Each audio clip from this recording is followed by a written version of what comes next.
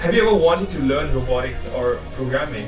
Well, I hope so, because this course is the A to Z introduction to robotics. We'll be exploring multiple fun concepts and we'll be learning everything there is about robotics, programming, and electronics. We learn everything on the Microbit microcontroller. It's this handy small little microcontroller which you can program from the internet using this web page. So that means you can program it with your phone, with your tablet, with your computer, and the best part is that you don't we won't be using any text programming. It'll all be picture-based programming, which is super simple, but still very easy to graduate to text-based programming.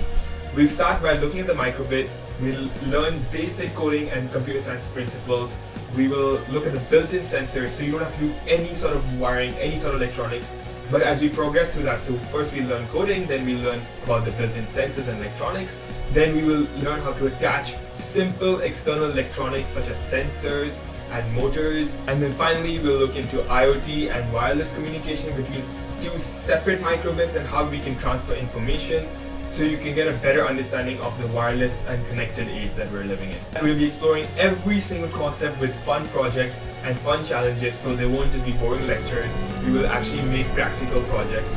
But before we begin, let me share a little bit about myself. My name is Saral and I run a robotics education company in Singapore called TinkerSpark. I've taught multiple kids from the ages of 8 to 16 from scratch how to build their own robots, electronics and coding. I also run a project blog on instructables.com with nearly one quarter million views on it.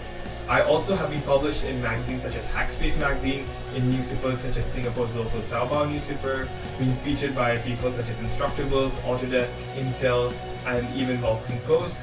And some of my other achievements include judging on national television for an international robotics competition, and even winning Amazon's Global Grand Prize. That's a little bit about me. I hope you guys are as excited as I am about learning in this course. Thanks.